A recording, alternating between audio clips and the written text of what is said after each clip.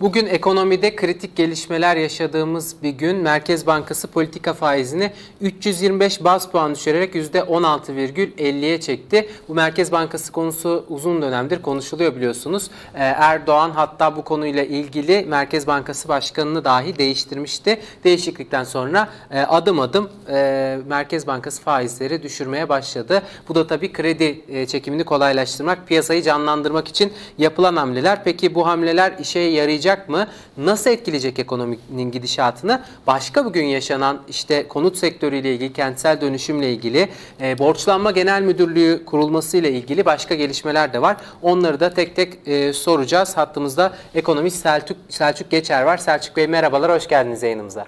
Merhabalar, hoş bulduk. Teşekkür ederim. Evet, öncelikle Merkez Bankası'nın faizleri düşürmesinden başlayalım. Ee, az önce de söylediğim gibi bu konu e, iktidar açısından da ciddi önem taşıyor. E, Merkez Bankası başkanlarının değişilmesine sebep olan bir konu. Önceki aylarda da e, faiz düşüşleri yaşanmıştı. E, faizi düşürmenin önümüzdeki dönemde ekonomiye olumlu, olumsuz nasıl etkileri olacak, nasıl gözlemliyorsunuz? Evet, şimdi bu faizi indirmenin tabii ana sebebi normal koşullar içerisinde konuşuyoruz. Piyasanın canlandırılmasıdır. Yani kredi musluklarının açılabilmesidir. Ee, ama daha önce 425 bas puanlık bir indirim yapıldı biliyorsunuz. Evet. Ve konut sektörüyle ilgili e, yapılan indirimler aslında %11 civarına kadar denk gelmişti. Yani normal politika faizi 19.75 iken e, konut faizleri %11 civarına kadar çekilmişti. Buna rağmen yeterince talebin gelmediğini gördük. Evet. Diğer taraftan e, tüketiciler faiz çek, e, kredi çekme eğiliminde değiller. E, bankalarda kredi verme eğiliminde değiller açıkçası. Özellikle özel bankalar kredi verme vermekten kaçınıyorlar. Çünkü bu kredilerin geri dönmesiyle ilgili çok ciddi problemler yaşanıyor. Batık kredi oranları çok yükselmeye başladı bankaların. E, karlılıkları da düşmeye başlıyor faizler aşağıya çekildikçe.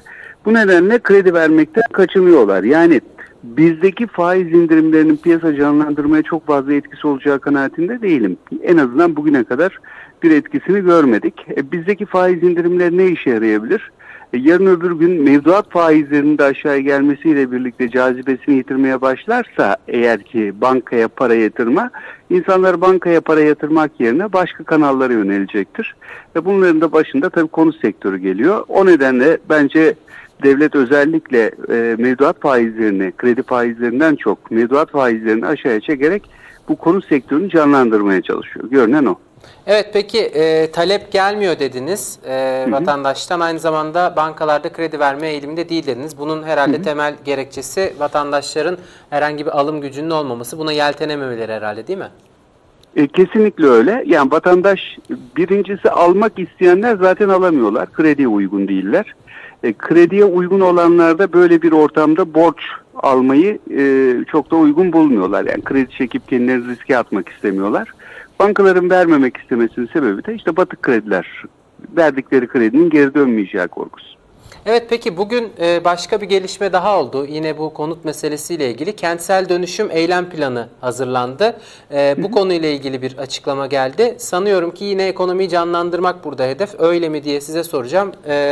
Çevre ve Şehircilik Bakanı şöyle söylüyor. 25 bini İstanbul'da olmak üzere tüm Türkiye'de 65 bin konutluk kentsel dönüşüm süreci başlatmış bulunuyoruz dedi. 1,5 milyon konutun dönüşümünün 5 yıl içerisinde sağlanacağını söylüyor. Burada da herhalde benzer bir amaç var değil mi? E tabi yani e, bugüne kadar yani 17 seneye baktığımız zaman hep konut sektörü üzerinden ilerlemiş bir ekonomi görüyoruz aslına bakarsanız. Ve bu bu modelden bir türlü e, dönüş yapamıyorlar. Dönüş yapamama nedenleri de başka tüm modellerin önünün kesilmiş olması. Tarım sektörü çok ciddi anlamda darbe aldı Türkiye'de. E, diğer taraftan sanayi sektörüne bakıyorsunuz. Sanayicilerin pek çoğu inşaat sektörüne kaydı. Ve e, herkesin ciddi bir kapital problemi var şu an itibariyle. O nedenle tekrar hükümet en azından elindeki konut sektörünü canlandırmaya çalışıyor. Konut sektörünü canlandırmanın yolu da tabii ucuz konuttan ya da orta gelirliye, dar gelirliye oluşturulabilecek konutlardan da geçiyor. Bunu da denediler. Bunda da çok başarılı olamadılar. Şimdi kentsel dönüşüm denilen şey şu. Ya siz kendi evinizi kendiniz yapıyorsunuz. Devlet buna destek oluyor. Belli kredi musluklarını sizin için açıyor. Yine gördüğünüz gibi bir kredi musluğunun açılması söz konusu burada. Evet. Ya da ya da başka bir kaynak E, ya da bu kaynağı müteahhitlere veriyorsunuz. Müteahhitler sizin adınıza belli bir havuzu, belli bir bölgeyi yapıyorlar. Günün sonunda e, bununla ilgili çalışmalar birkaç defa daha denendi farklı şekillerde ama sonuç alınamadı, alınamıyor da. Çünkü konut sektörüne olan güven iyiden iyiye kayboldu ve fiyatlar aşırı derecede şişmiş durumda. Yani ucuz konut dedikleri konutlar 300-400 bin liradan başladığı için ve insanların da böyle bir gelir modeline sahip olmamalarından kaynaklı olarak e, konut sektörüne kentsel dönüşüm olsa bile evlerini yenilemek, kendi evlerini yenilemek olsa bile çok fazla giremiyor insanlar. O yöne yönlenemiyorlar. O nedenle de hükümetin bu tür çabaları sonuç vermedi şimdiye kadar. Umarım bu sonuç verir ama bence yani bunun da çok fazla bir etkisi olmayacak. Evet peki e, şimdi daha önce uyarılar yapılmıştı. Merkez Bankası'nın e, faizi düşürmesiyle birlikte doların Hı. yükselişe geçebileceği ile ilgili. Sizin de böyle uyarıları sık sık yaptığınızı görüyoruz. E, böyle Doğru. bir şeye sebep olacak mı? Dolar yükselecek mi önümüzdeki dönemde? Şimdi şöyle, doların yükselmesi için aslında sadece Türkiye'deki kırılganlıklar değil, dünyadaki kırılganlıklar da ön plana çıkmaya başladı. E, bugün 325 bas puanı indirdikten sonra Merkez Bankası neredeyse 2 ay içerisinde 800 bas puanlık bir indirim yaptı. Normal koşullar içerisinde konuşuyoruz. Normal koşullar içerisinde 800 bas puanlık bir indirim durumunda mutlaka dövizin yukarıya doğru bir hareket yapması gerekiyordu. Ama ikidir Merkez Bankası'nın çok ciddi baskısını görüyoruz. Özellikle Forex piyasasında yani kaldıraçlı piyasada çok ciddi baskısını görüyoruz. Ama bu baskılara rağmen bir süre sonra dolar tekrar yükseliş eğilimine giriyor. Şimdi 18'i çok önemli ve bugün Merkez Bankası dışında Avrupa Merkez Bankası da bir açıklama yaptı. Faiz kararı açıkladı. Ee, onlar faizlerini, politika faizlerini sıfırda tuttular, mevduat faizlerini negatife indirdiler. Yani Avrupa'da şunu söylüyor. Bana getirip para yatırmayın kardeşim. Bu parayı alın götürün başka bir yerde değerlendirin ya da işte piyasada iş yapın diyor bu parayla. Ee, diğer taraftan 20 milyar euroluk da bir e, kaynak e, piyasaya sunmaya başlayacak. Varlıkları satın alarak yine Avrupa Merkez Bankası. Yani parasal genişlemeye gidiyor. Bu şu demek. Piyasada çok ciddi manada euro olacak. Euro değersizleşmeye başlayacak ve bunun karşılığında da dolar değer kazanmaya başlayacak. Doların değer kazanması Euro bölgesinde tüm dünyaya etkiler ve Türkiye'de de Türk lirasının değer kaybetmesine sebep olur. Önümüzdeki günlerde eğer ki bir de 18'inde Fed'in açıklaması e, ben faiz indirmeyeceğim şeklinde olur ise bu durumda iyiden iyiye döviz üzerindeki baskılar artar. Merkez Bankası'nın müta o zaman müdahaleleri de yetersiz kalabilir. Bunu da unutmamak gerekiyor. E, şu anda Türkiye'de doların eğilimi yukarıya doğru ama çok ciddi bir baskı var, çok ciddi bir müdahale çabası var. Şimdilik tutmayı başarıyorlar. Ama bundan sonraki süreçte özellikle 1-2 hafta içerisinde e, işin şekli çok değişebilir. Özellikle Fed'in e, faiz kararından sonra diye düşünüyorum. Evet, e, Fed'in faiz kararından sonra e, Euro'nun düşmesi ve doların yükselmesi söz konusu diyorsunuz. Peki bugün Hı. kritik bir gelişme daha vardı ekonomi açısından.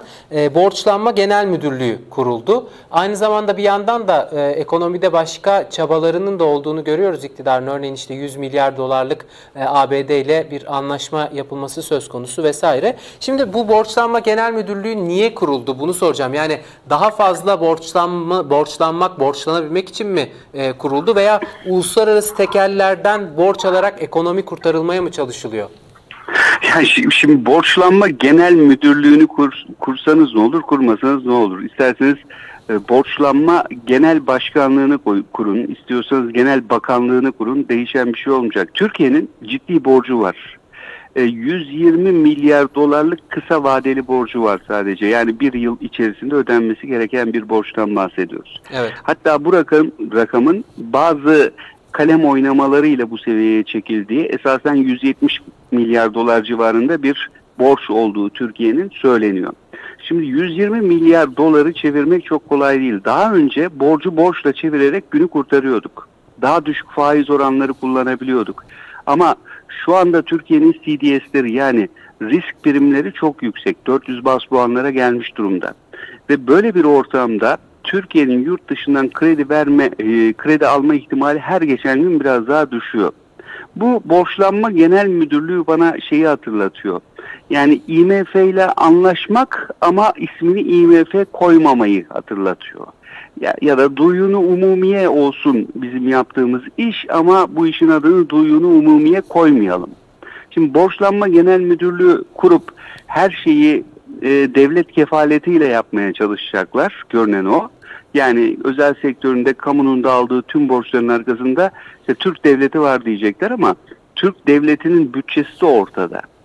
Yani bize borç verecek herkes önce bütçemizi alıp değerlendiriyor ve bu değerlendirmeler sonrasında da şunu söylüyor. Yani sizin riskleriniz çok fazla biz size borç veremeyiz ya da biz size borç veririz ama yüksek faize borç veririz diyorlar. Yani işin sonunda bu sadece göstermelik bir adım gibi geliyor bana. Bu, bu işin sonu IMF'ye kadar gider. Eğer ki bu işi bir an önce gerçek anlamda çözmeye çalışmazlarsa. Bir bu. İkincisi Türk lirasını baskılayarak zaten bu işin içinden çıkamazlar. Türk lirasını baskıladıkları sürece bu borç alma süreci daha da zorlaşacak. Yakın zaman içinde bankaların sendikasyon kredileri var. Bu sendikasyon kredilerini çevirmeleri gerekiyor. Ki yine bu müdürlüğün büyük ihtimalle bu nedenle de kurulduğunu düşünüyorum ben.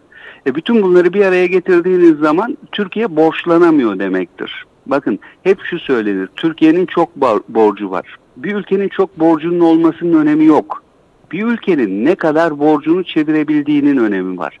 Dünyanın en borçlu ülkesi Japonya'dır mesela.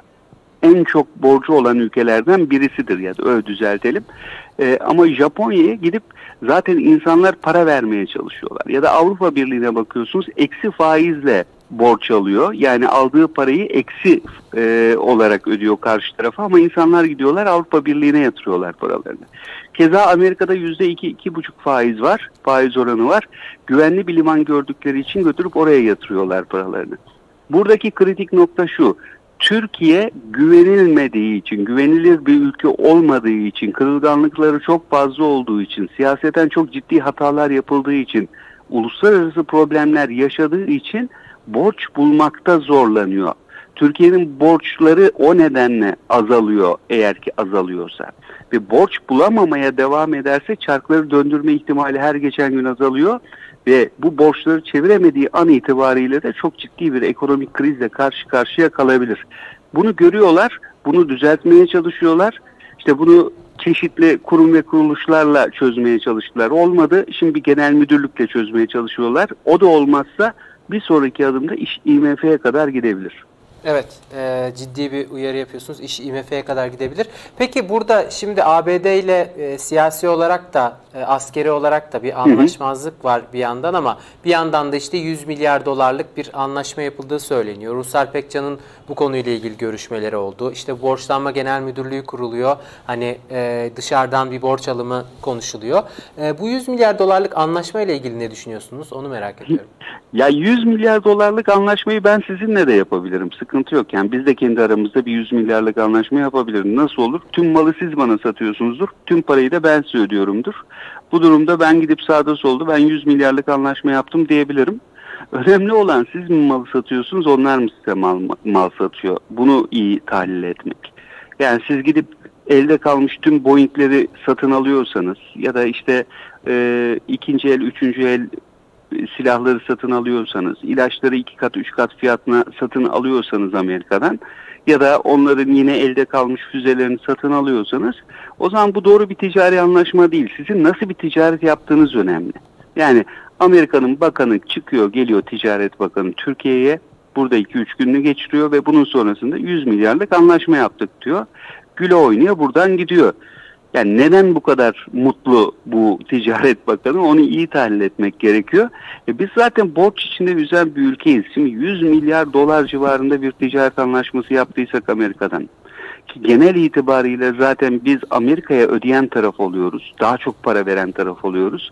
Ve bu 100 milyarın diyelim ki 80 milyarı konuşmalar bu şekilde çünkü 80 milyar doları Amerika'nın bize mal satmasıysa o zaman biz borçlarımızı her geçen gün biraz daha arttırıyoruz anlamına gelir. Ve bu borçları arttırmanın maliyeti kime yansıyacak? Bunu iyi okumamız lazım. Yani bu ticaretin sonunda eğer ki vatandaşın vergileri artacaksa, vatandaşın harçları, cezaları artacaksa, zamlar artacaksa o zaman bu ticaret olmaz olsun demek lazım. Ama biz Amerika'ya bir takım tavizler vermek zorunda kalıyoruz. İşte Fırat'ın doğusunda bir operasyon yapmak istiyoruz. Amerika hemen sesini yükseltiyor. Amerika sesini yükselttiği zaman biz siyaseten buradan bir karşılık veriyoruz ama ekonomik olarak da arka planda tavizler vermek durumunda kalıyoruz. Bence bu bu tip bir taviz yani Fırat'ın doğusunda e, elimize ne geçti ya da ne elde ettik bilmiyorum ki bana göre orada da siyaseten de uluslararası ilişkiler açısından bakıldığı zaman da çok ileriye gitmiş değiliz. Ama velev ki orada bir şey elde, elde ettik karşılığında da cebimizden 100 milyar dolar çıktı ve bunun bedelini vatandaş ödeyecek diye okumak lazım. Ve bu kadar sıkışık bir dönemde bu paraları ödemek bence çok da akıl kârı değil. Evet peki çok teşekkür ederiz kıymetli değerlendirmeniz için. Selçuk Geçer. Ben çok teşekkür ediyorum sevgiler sağ olun hoşçakalın. Sağ olun. Evet ekonomist Selçuk Geçer'le değerlendirdik. Bugün ekonomiyle ilgili önemli gelişmeler vardı. Ee, işte bir yandan e, bir borçlanma e, genel müdürlüğü kurulması, bir yandan politika faizinin Merkez Bankası tarafından düşürülmesi gibi.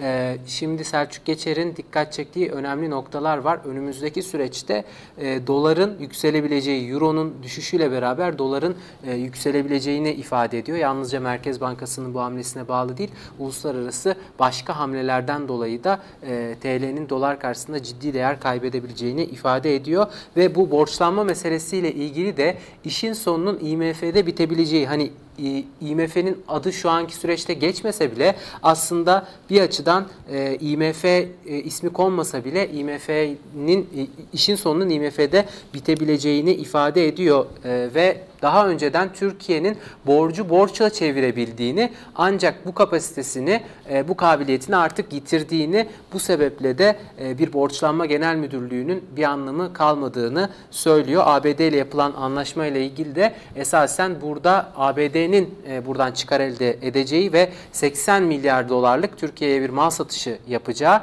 ve bu sebeple Türkiye'nin e, bu konuda borçlanacağı ve Türkiye'ye vatandaşlara bu konunun zam olarak geri döneceği, e, Türkiye'deki vatandaşların cebine yansıyacağı uyarılarında bulunuyor. Ne yazık ki e, tablo pek olumluya doğru gitmiyor. Bazı hamleler yapılıyor gibi görünse de e, diyelim e, bugünkü ekonomi gelişmeleri önemliydi. Selçuk Geçer'le değerlendirdik.